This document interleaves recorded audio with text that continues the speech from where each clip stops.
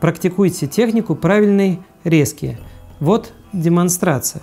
Первое правило. Ни в коем случае не режьте на весу. В самых разных вариантах вы можете получить травму, если режете на весу. Если у вас в руках нож, режьте на разделочной доске.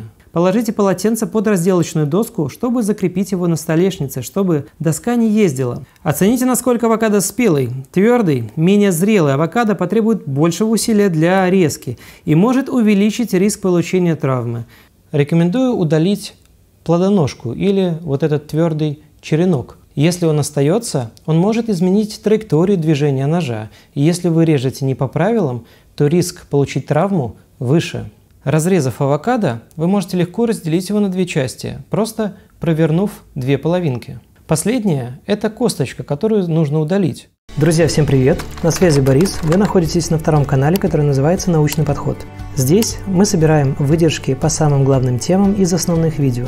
Если хотите найти основное видео, переходите по ссылке в описании, там есть основное видео. И ссылочки на источники есть также в описании под основным видео.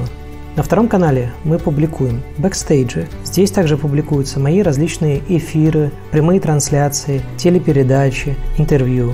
Здесь также есть материалы, которые не входят в основные ролики для более подробного и глубокого изучения.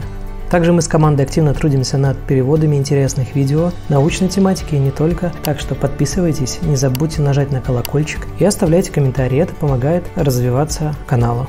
И, кстати, если вы подписаны на второй канал, то для вас есть промокод на скидку на нашу продукцию, которую мы выпускаем. И специально для вас, как для самых любознательных зрителей, промокод дает чуть больше процент, чем с основного канала. Также рекомендую подписаться на все наши соцсети и ресурсы, и вы можете получать контент в удобном для вас формате.